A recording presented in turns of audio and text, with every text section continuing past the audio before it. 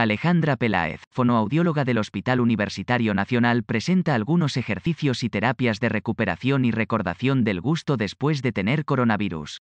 Probar sabores fuertes es uno de ellos. La pérdida del gusto y el olfato a causa de la COVID-19 es un síntoma que, aunque no es muy común, sí ha afectado a cerca del 6% de los pacientes positivos. Pixabay, probar sabores fuertes como la esencia de vainilla, el vinagre o un café muy cargado es uno de ellos. Otro consiste en oler directamente el alimento con los ojos vendados realizando inhalaciones profundas y, luego, repetir el ejercicio con los ojos abiertos.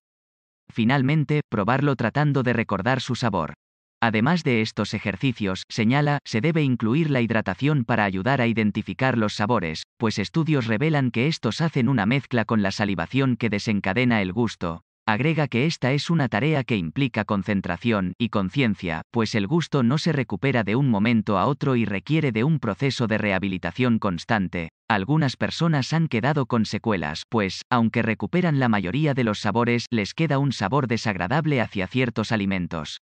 Sin embargo, explica, esta sensación se va pasando con el tiempo, la duración de esa etapa depende de si la pérdida de gusto y olfato fue el único síntoma, si está acompañado de otras dificultades respiratorias, por alergias, o si el paciente tiene más comorbilidades o pérdida de salivación, lo que lleva a más tiempo.